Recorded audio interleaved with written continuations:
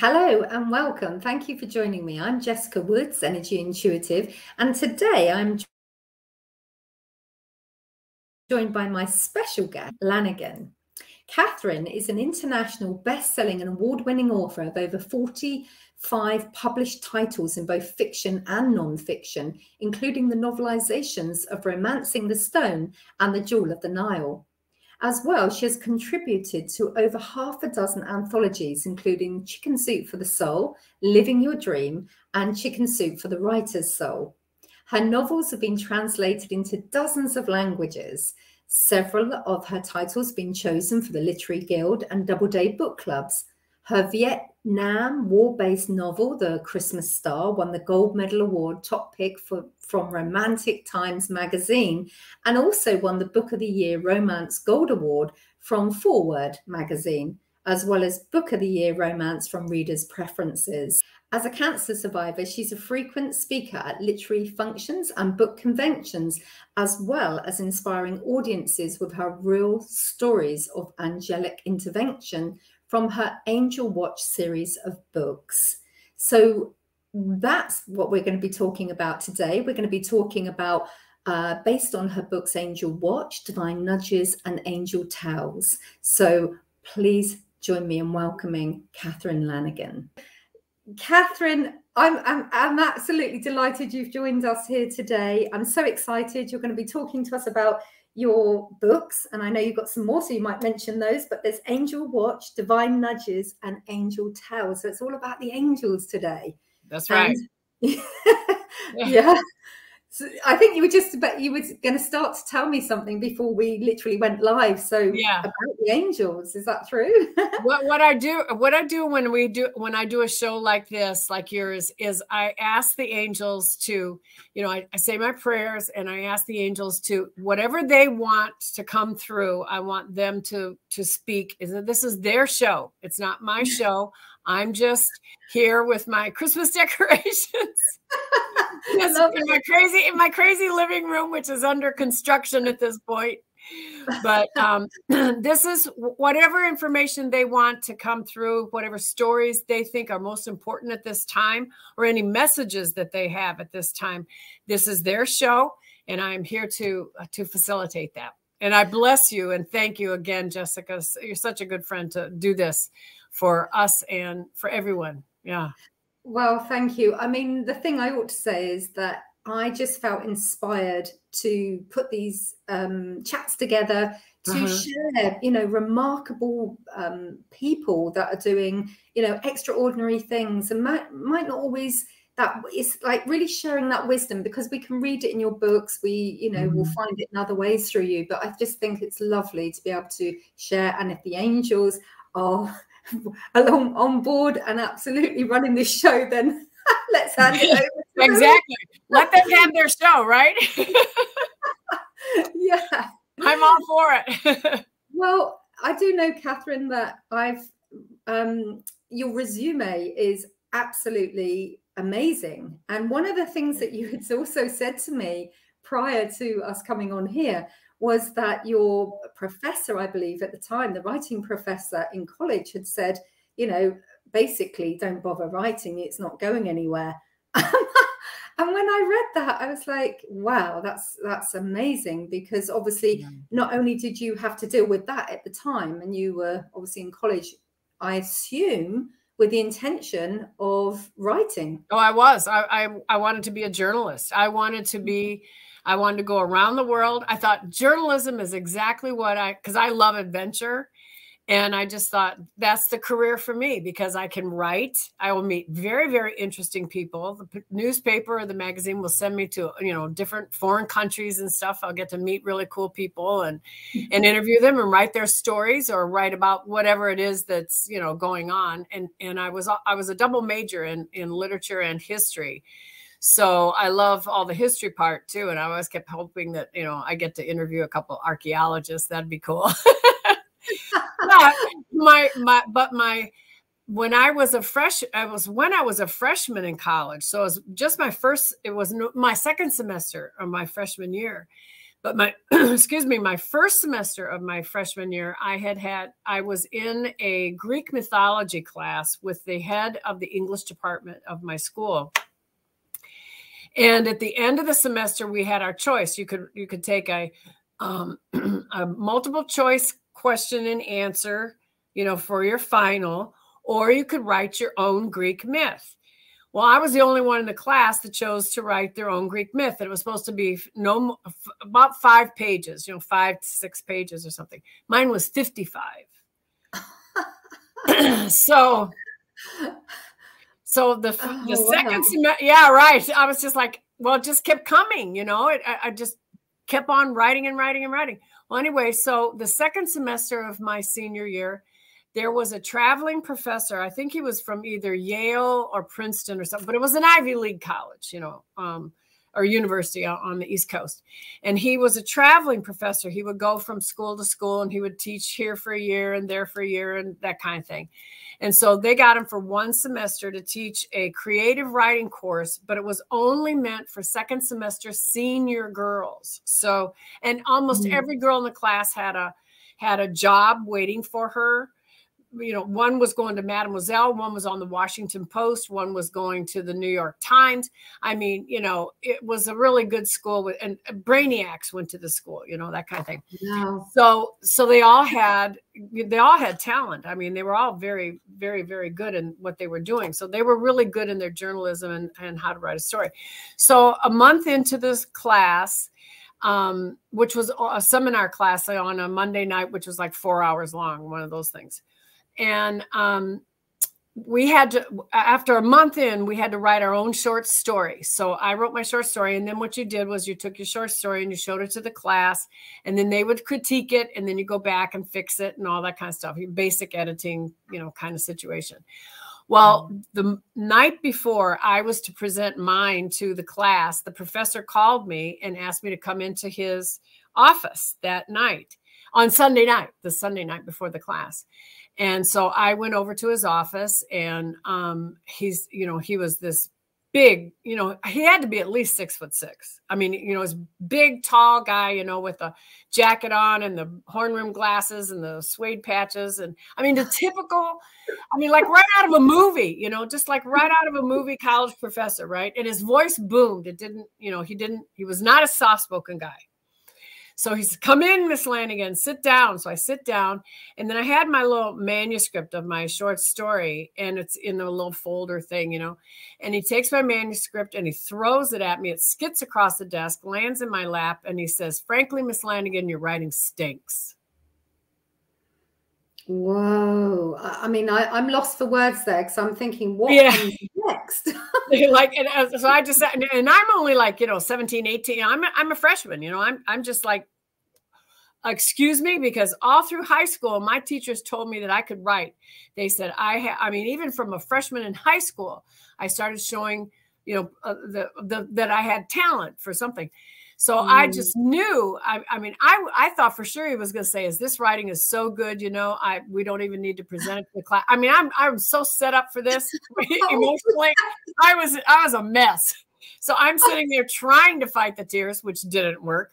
And I said, "I don't understand." And he said. You have no idea about plot structure. You have no idea about characterization. He said, and he just went on on down the list. You know, your sentence structure is slappy, blah blah blah which I had never heard. I mean, I had A's when I was in high school. I was I was on a roll and all that kind of stuff. So it wasn't like, you know, so this is really out of the blue for me.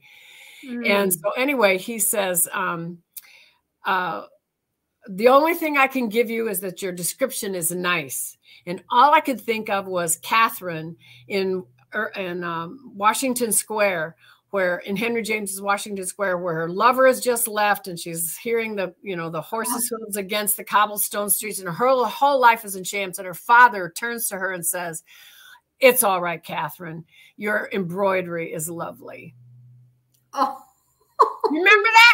I was just like, that's it. That's what he's got to say to his, you know, daughters, because he's just paid off the lover to get the, you know, to get out of there so that she won't marry him and run away, you know, because he thought he was a fortune hunter, which, you know, it doesn't matter. She was in love with him, you know, they probably would have had a great time. so anyway, I so I'm just devastated. And he says, so the mm. professor, back to the professor, the professor says, there is no way that you are going to get through this class. And he said, I am very well aware that when you came in, you declared your you, declared you, you had to declare when you came into the school, schools what your goal was by the time you graduated. And I said, well, I wanted to graduate magna cum laude. And he said, I know you want to be a magna. And he said, there's no way that you're going to get there if you, if you, and he said, it's too late to pass or fa- take a pass fail or drop this class. And he said, so you, he said, you've got to get a B out of this class in order to be able to keep on going through the rest of your college career. And he said, you're going to have to get an A in every class, which I did. And except for math, except for the math, I did not do very well with the math thing.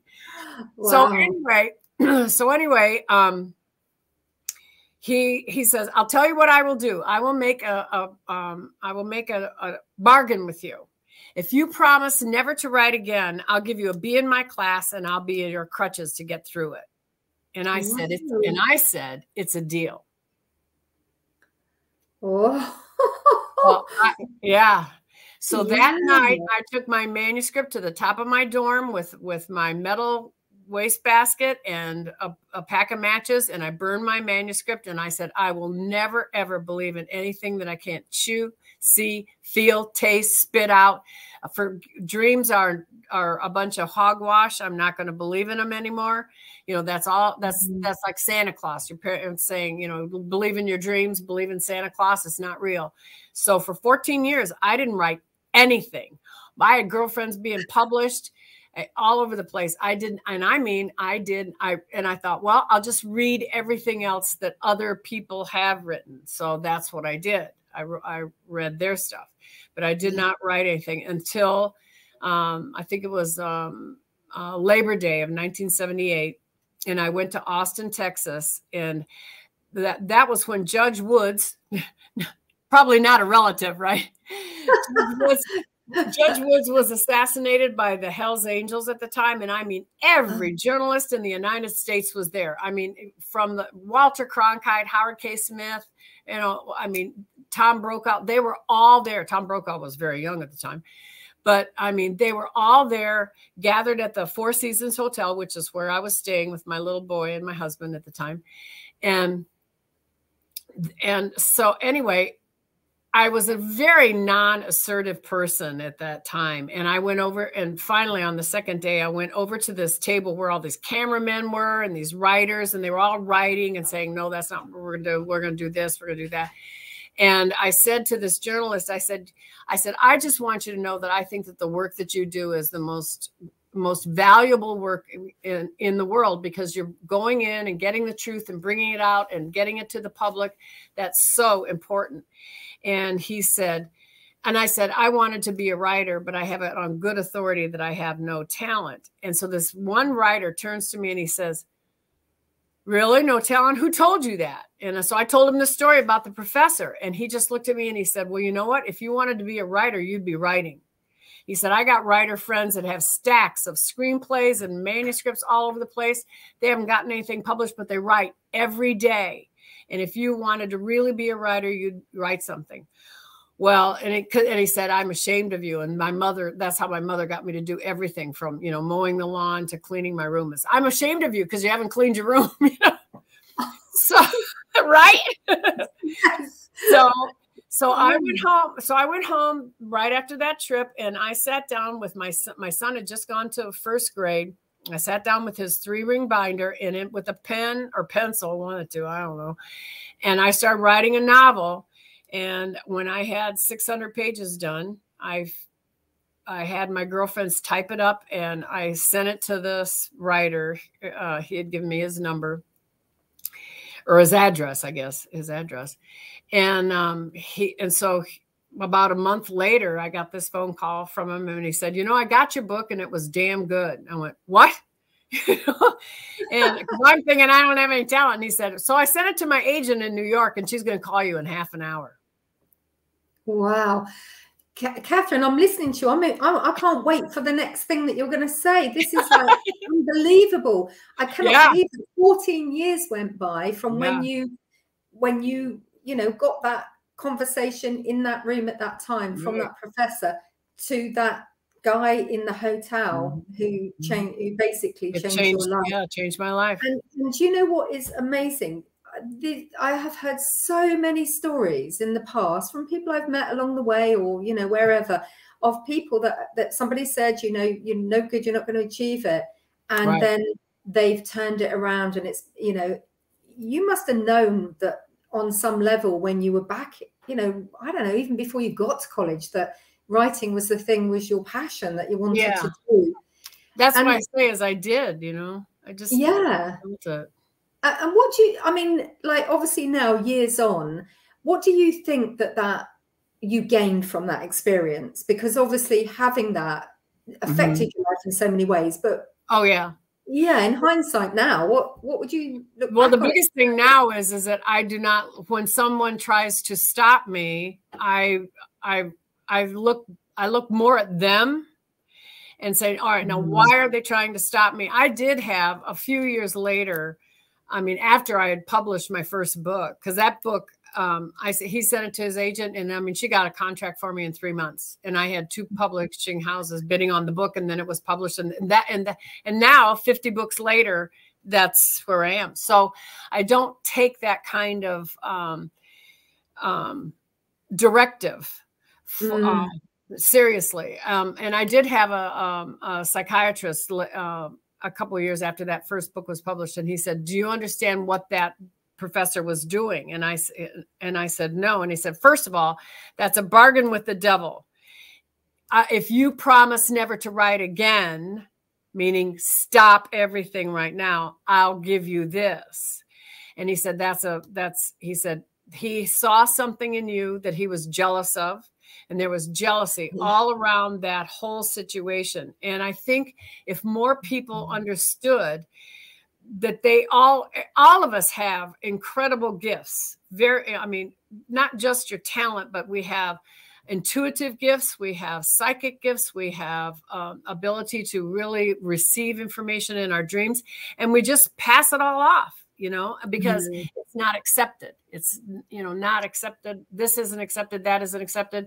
It's just like when um, the first time I saw an angel, I was three years old. And my mm-hmm. mother was just like, well, no, you didn't, you know, you know, first of all, she said, you don't even know what an angel is. And I said, and I said, well, she said she was an angel. oh, do, do, do you know what I'm hearing here is I'm wondering how many people are going to be listening to this and have had either a childhood experience, like you know, you say, no, you didn't see an angel, you didn't see granddad, whoever it is. Um, yeah, and exactly. also with regards to um, basically sabotaging people's passion.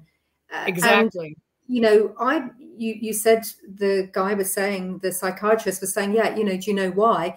And for me, you got gave me the confirmation because I I picked up when you were talking earlier there was a lot of jealousy and it was his own stuff going on mm-hmm. because you are such a talent and isn't it quite sad in a way that people feel so threatened that they will the actions they take in order to you know steer someone else or move someone else away from something is really quite I don't know, fascinating. Is that the word to, to describe? Yeah, and and I and I believe right now, Jessica, in our world, we have more of that going on than ever before. It's like this there is a you know a lot of people talk about the world between uh, i mean the war between the principalities you know good and evil going on. Well that's it.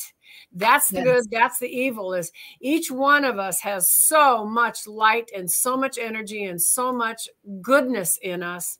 And there and there are those that are so threatened you know or they want what we have. They want our energy they want our they want to suck our our our love and our energy out of us as in mm-hmm. abusive relationships i wrote a book on abusive women and how they have you know gotten out and um, not to mention i mean not that there aren't men that have the same situation because they do um, yes. um, but at that time when i wrote it it was you know for women but um when you have that kind of vampire coming in there's just a whole lot of them right now Mm-hmm. And that's what we're seeing for each one of us on our daily basis. We know we all can't go out and be Joan of Arc and save the world, but we can certainly save our own world and turn our own life around. And when we do, and we create more love and more light and more energy in our own sphere, it, it has that ripple effect that goes out into the ocean of the world, the universe, really.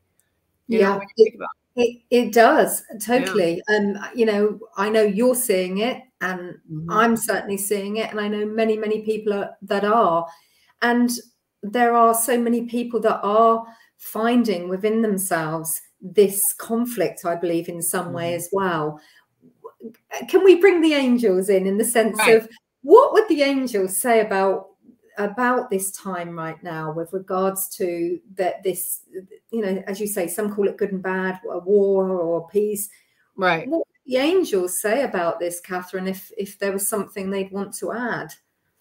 The, um right before the pandemic started this would be i think it was in august or september of 2019 so that because the pandemic was just starting out of you know china and coming into new york and starting to spread that fall in 2019 and i had um a visitation. It wasn't a dream you know because i literally was woken up.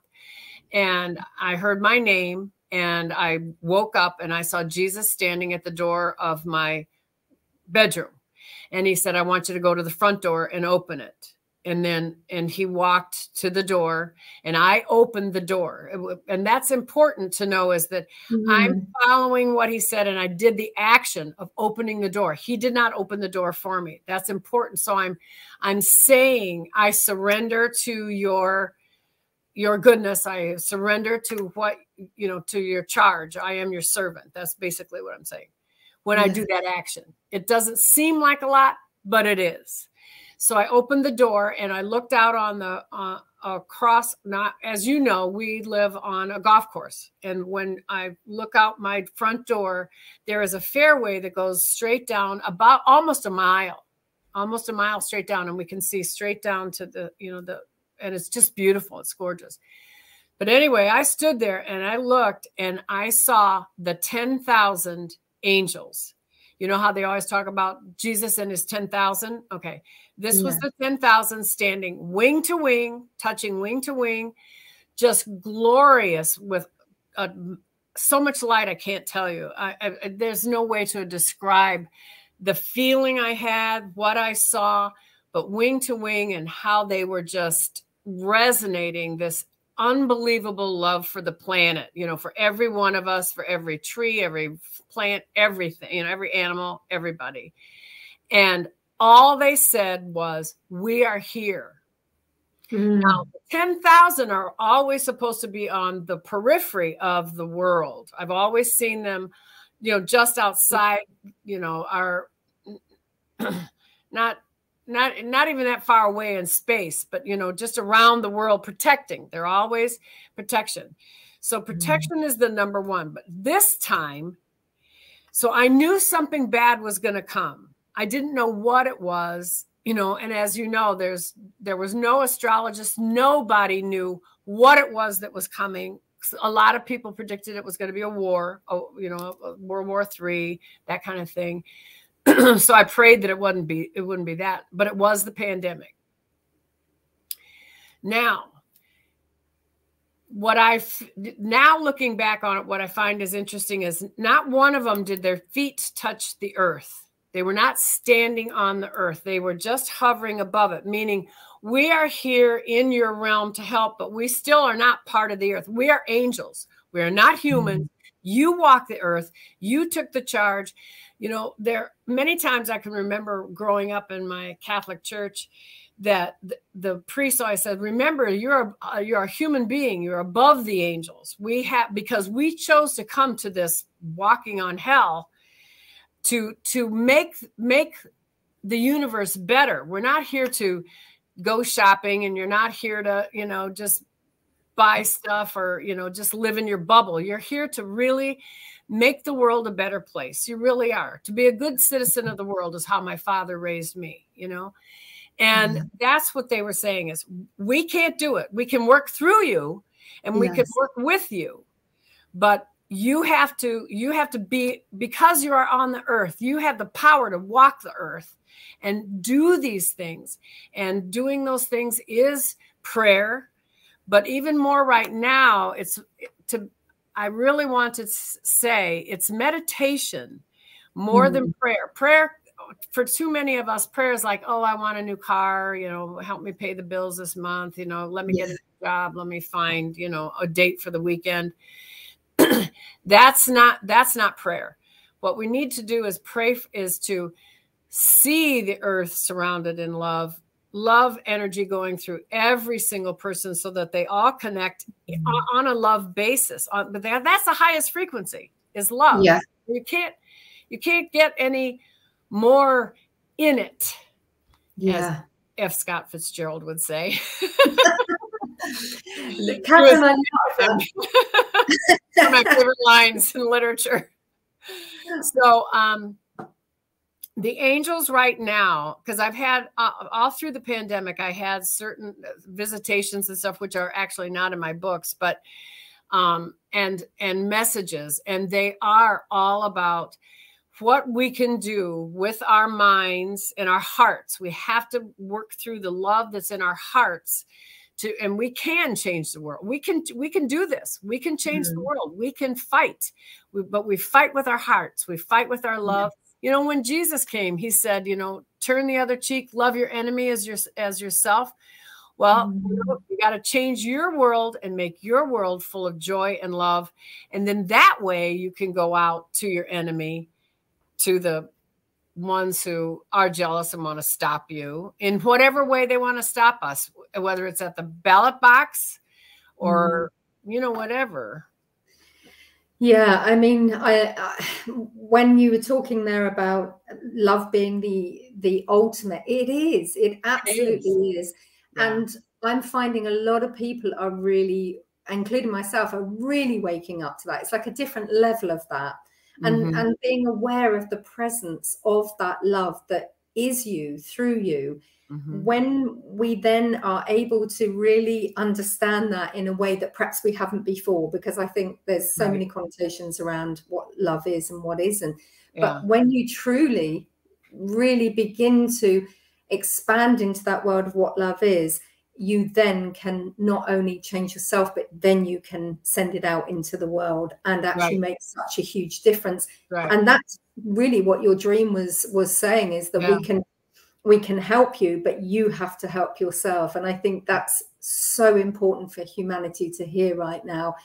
Yeah. So many people have been, you know, looking for others for love, looking for others to bring that light into their lives, but it is only through finding it ourselves and being open to it. That's I right. Love, love, love, love what's happening now. Repeating the word love there. yeah. it's a good thing. It's a good thing, you know.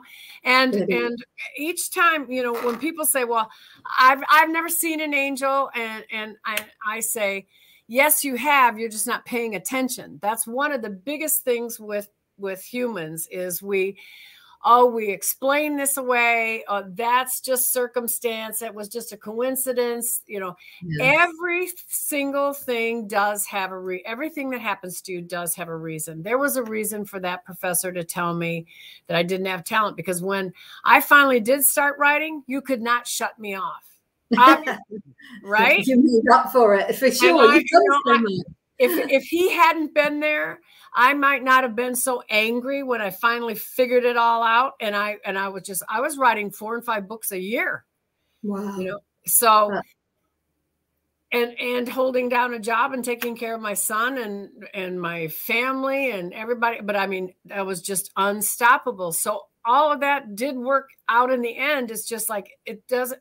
We're we're all too um Twitter happy is what I call it. You know, we all want it to happen in, in less than a sentence without perfect punctuation, and we want it to happen right now. And it and so much mm-hmm. of of everything doesn't happen right now. It's we need to, you know, patience is like a lost art, really.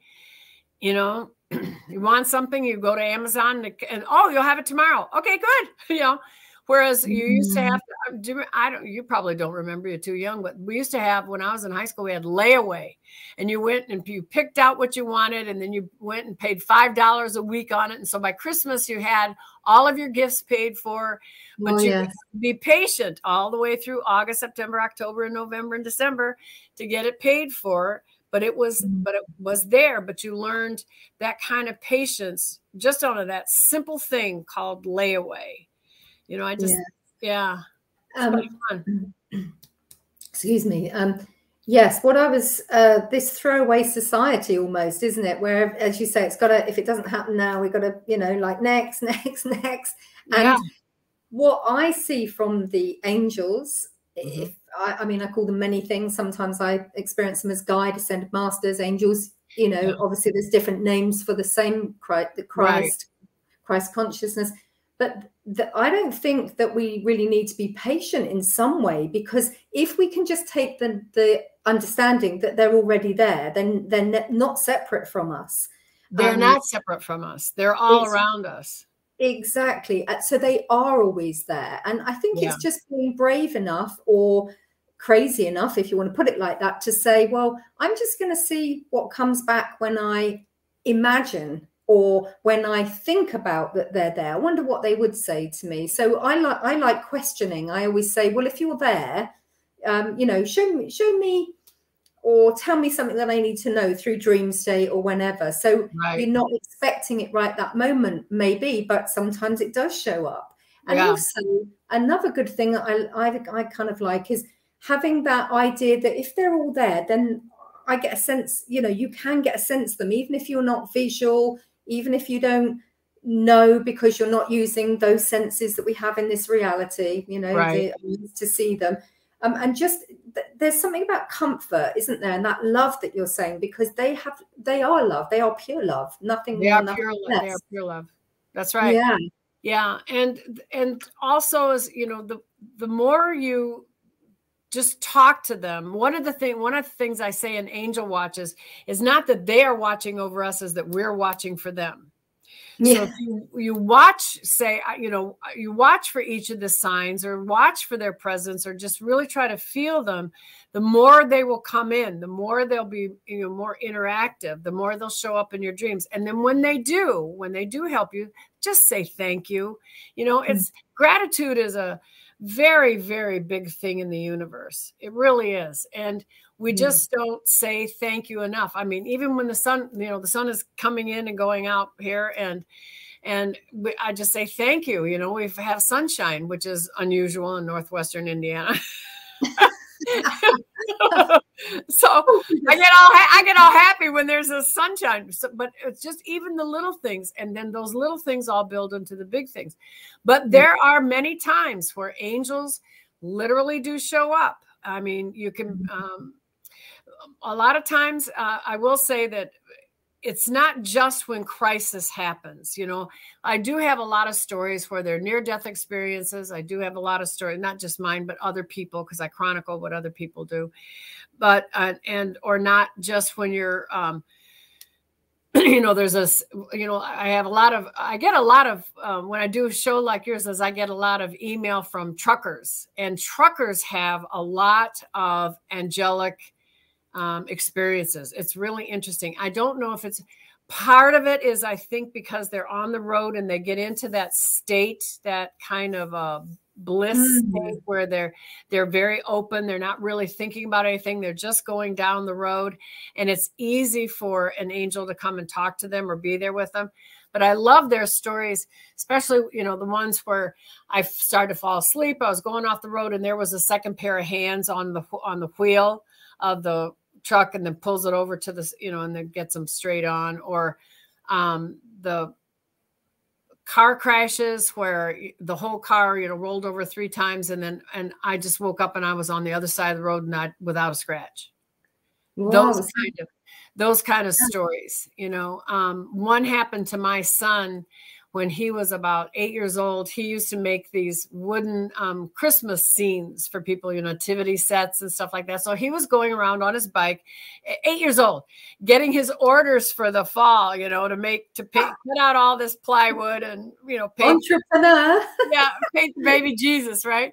So he was coming out of this one area where there were condos all together, and this lady was coming down in a big, like Ford Bronco, hit him, and and I was at home writing. I can't remember what I was, but I was I was at home. We were working on the computer, and I, this woman comes to my door, bangs on the door, and she says, "Lady, lady, your son's been hit by a truck."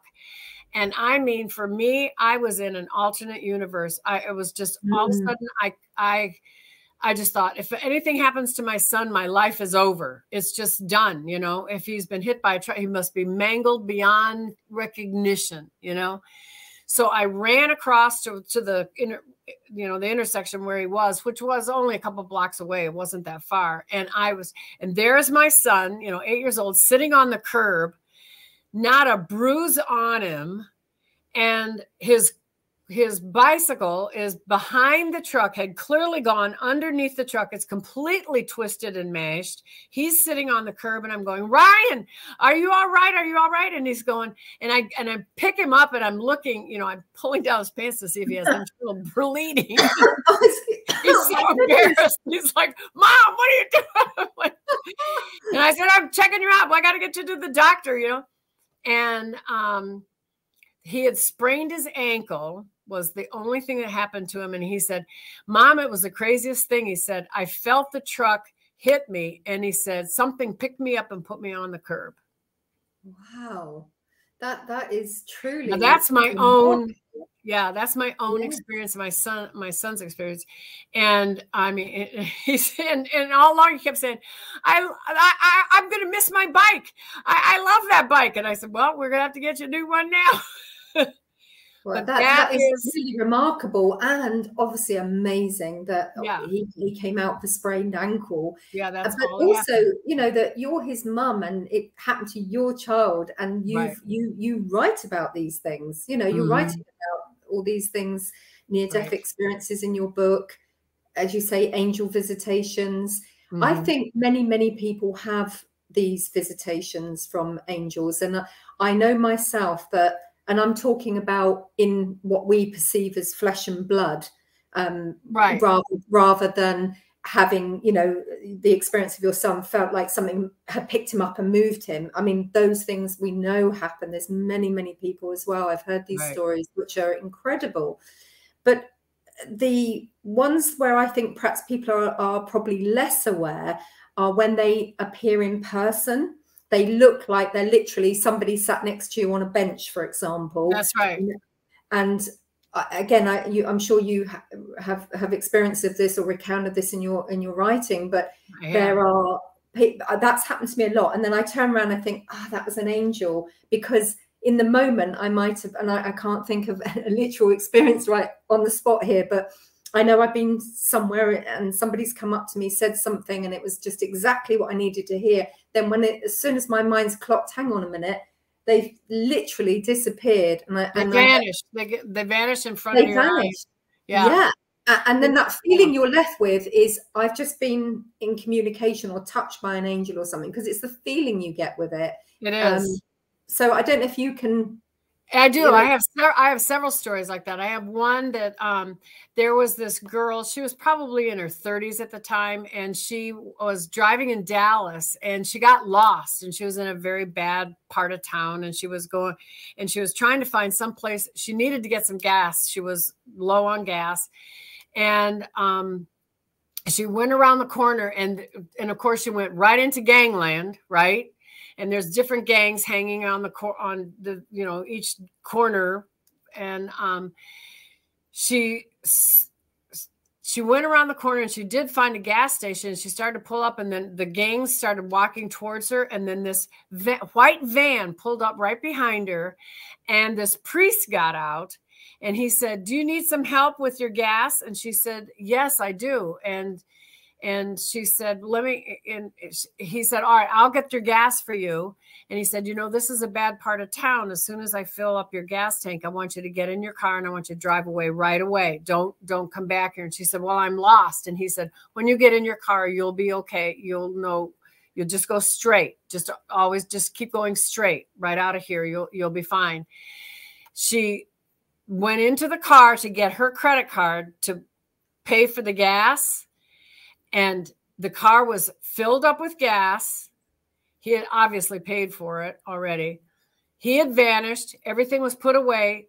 she just turned around. I mean, he was completely gone, but the van was gone too. so in the time that she just went to she the door was already open she went to pick up her purse turned around and he and the van were gone now I know the ones where like where you're saying because I've had those where I just say I just want to say thank you for telling me that you know and then they're gone. But this one was this car was gone too. I love that story. I love that story too. Yeah, I that's mean, really that's a really good incre- one. It's incredible yeah. these experiences are happening probably a lot of the time and people don't even realize because that's something that's something huge, isn't it? If you're in a dangerous yeah. situation. I do, yeah. I, I do know somebody who had a similar thing where they were uh, um, basically about to be raped. Um, and literally, yes. I, I, I'm so sorry, I can't remember the whole story because this was many years ago I heard this, but it was absolutely true. Um, and somebody like stepped in or something, saved saved the day, and yeah. and and it obviously was an angel because completely disappeared. Yeah. So I think if anyone's got any doubts about angels, and I think there's been a lot of bad press that you know they're fantasy, they're they're made up things. Well, life is made up if we want to take the fact that it's an illusion on some level. So why wouldn't um, we get that help and and know that we're nurtured yeah. supported and loved? So i love it. I love hearing those stories. Yeah. One one of the stories that i do want to tell you is about when my dad when my father died um, both my parents were at the grand canyon um, this was in 1987 both my parents were at the grand canyon and my mom had a heart attack and so they, you know, they called 911 from the Grand Canyon, picked her up, and then my dad followed in the car down to they went to Flagstaff because that's where the hospital was that they had to take my mom. So they were wheeling my mom into ICU and outside the doors of ICU before my dad could get through, he dropped dead outside the doors of ICU. He was dead for 22 minutes. They banged on his heart. They broke his sternum, his clavicle, all of his ribs um, trying to bring him back. They paddled him at least twice that I know of. Um, because my mother didn't see it. She, you know, it was the nurses and the doctors that told her what happened. But while he was dead, he, um, let's say, then my sister and I flew. She was in Chicago. I was in Houston. We met in Phoenix, and then we took a puddle jumper, you know, up to Flagstaff, and got there like at midnight at night. It was really, really late. That was back when you could, you know, you could fly you could fly. You know, now you can't fly anymore, but you could fly back then. Well, anyway, so as as soon as I walked into the room, my dad said, "Oh, Kath, I am so glad you're here. I've got so much I have to tell you. But the first thing I have to tell you is I have to tell you that I love you." Well, now oh. all ah. the time, all the time I was growing up, my father never said "I love you" without me being saying i love you daddy and then he would say oh i love you too you know that kind of thing or love you too that kind you know mm. but it was hmm. never just forthcoming you know so and i and i i was like shocked i was wow you know you want to tell me that you love me and he said well i have to tell you what happened to me on the other side and i said what do you mean the other side now i knew what the other side meant but he he was very very catholic and um Catholics call it heaven. And I said, you, I said, you mean heaven? He goes, well, that's actually not what they call it. They call it the other side. And I went, okay. Now my father was an attorney. He was one of the most brilliant men I have ever met and my brilliant people I've ever met. He had a photographic memory, Phi Beta Kappa key, you know, and a, I mean, he was just really, really smart. High, uh, uh, tough shoes to fill, you know, when you're the kid, you know, trying to yeah. like dad. And I didn't get that photographic memory. I would love to have had it, but I, that's the gene I didn't get. You know, you would like that one, Catherine. Yeah, I would like. I'd like to get that in my gene pool next. Well, anyway, so he said, when I got there, he said I talked to the being of light, and he said, and I said, you mean you were talking to an angel? And he goes, no, no, angels are the other guys this was a being of light and you talk to the being of light first before you can talk to angels later but you have to talk to the being of light first. Well i didn't know that. And he, i said well what did he say? And he said and he said they said that they were sending me back because i had not learned the the only lesson that everyone is supposed is sent to earth to learn. And i said what is that lesson? And he said it's the lesson of love. Oh. you're only sent here to learn the lesson of love and he said, I haven't learned that yet. So I have to go back. but he said the rest of the message was about you. And he said, you know, you're going to write a book. And I said, well, you know, daddy, since I've written eight or nine books, that's, you know, not new. And um, uh, he said, well, it's not going to be like any of the other books. This is going to be different. You are to, you are to write angel stories. You're, he said, you know, you've been seeing angels for a long, long time. And I said, yes, I have. And he said, well, you know, I'm sorry that we didn't believe you at the oh, time oh, when you were young.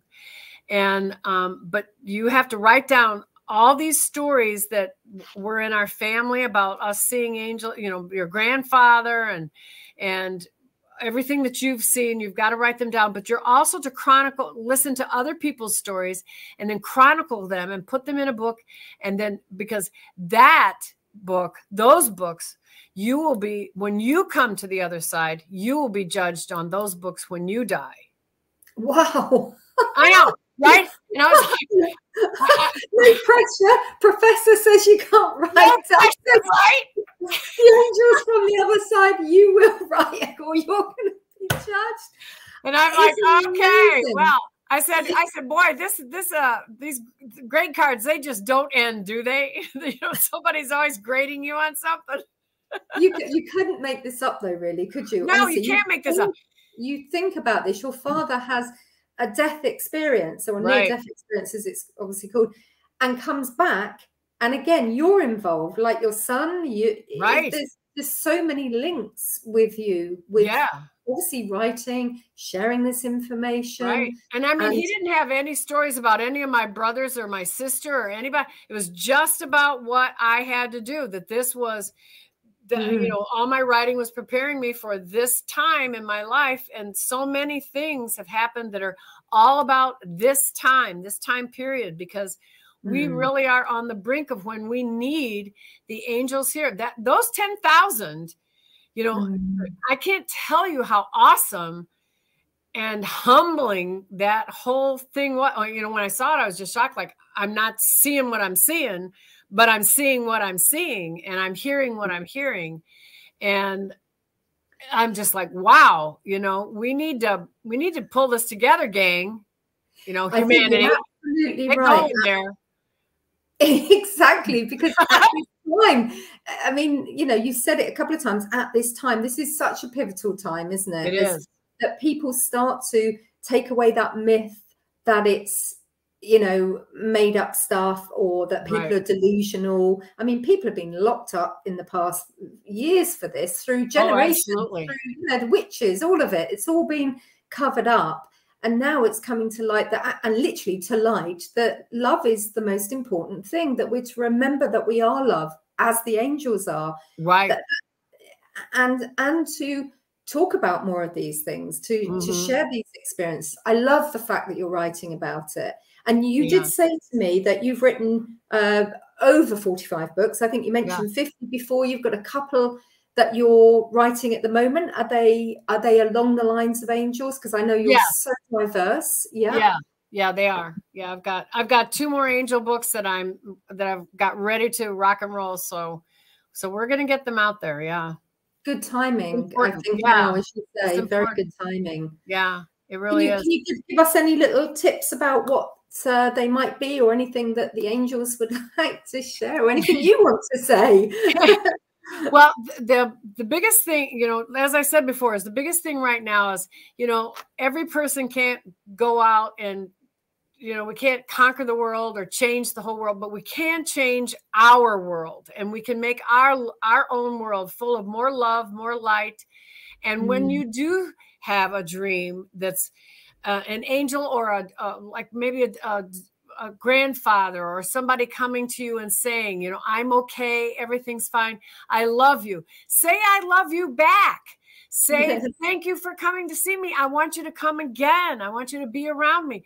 Every Friday night, I have I have these little candles and bowls all over the house, you know, over the house, and I and I light them. And I say, well, I light them for all my dead people, but that's who they're for, you know, is because they are they they're just in the next dimension but they're still all around i've had mm. people come to the house and say wow this house is just so full of love so full of well it's not just my love it's mm. all the other people who have been here you know and, and my grandparents are here my parents are here my mm. sister is here you know it's just and it's a they know they're welcome and they're protecting the other thing that right now is the angels are protecting us you know uh, there i you had said something earlier and uh, so many people are uh, you know doing a lot of a lot of podcasts about how this dimension is really a hologram. We're really living in an alternate matrix another reality another this but you know what?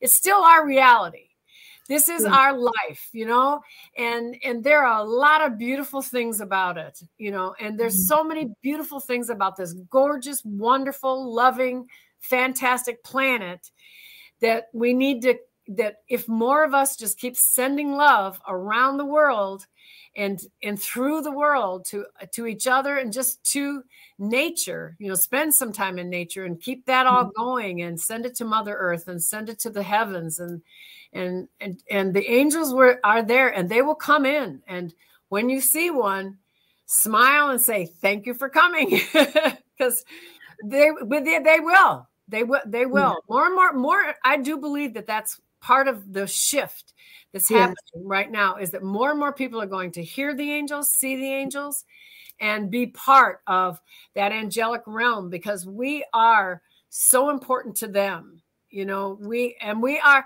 we have our feet on the earth. We can do everything that they would like us to do and they want us to do for the betterment of all because the betterment of this planet the betterment of our lives leads into all the universes and throughout the whole all the galaxies and everything. It's just it's it's such a wonderful thing you know it's a wonderful world.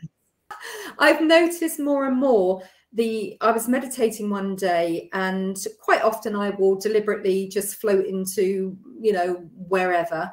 But on this particular occasion, I was suddenly aware that there were uh, not one, two, or ten, but hundreds and thousands of angels all around me. And I was like, oh, you know, sort of almost like I woken up from a dream, but I still was in my meditation. I was like, okay. Right. I mean, I normally sense a lot of you or or different beings.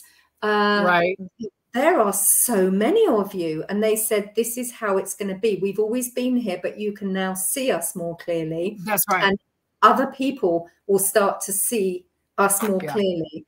Um, and when I say see, obviously, you know, I'm t- I'm talking about through my intuition, which I call my sensory perception of that reality right. in in our meditation. So just to be clear for people that may not know, but and then I just for this went on. They kept reinforcing it. I'd be going to make myself a cup of herbal tea or something, and I'd suddenly feel them. All these uh, angels, so many of them, and I was like, "Wow, this is like." And they mm-hmm. kept on doing that, and I think it was to reinforce, "We're here, we're here, we're here," right. and open up my perception because I think that's what it does. It opens up your perception, which could be like, oh, well, an angel might appear to suddenly, oh, yeah, that's, I'm getting a sense of my nan who's passed over or my father right. or whoever. Right. But they want us to really know now. That's what I'm getting. And that's confirming what you're saying is just be mm. more open, be more. Yes. If you think that angels what do they represent? They represent love do they not? They are our loved ones who have passed over or there are you know guides if we want to call them those that right. are here to help us in this reality to remember who we are to love ourselves right. more.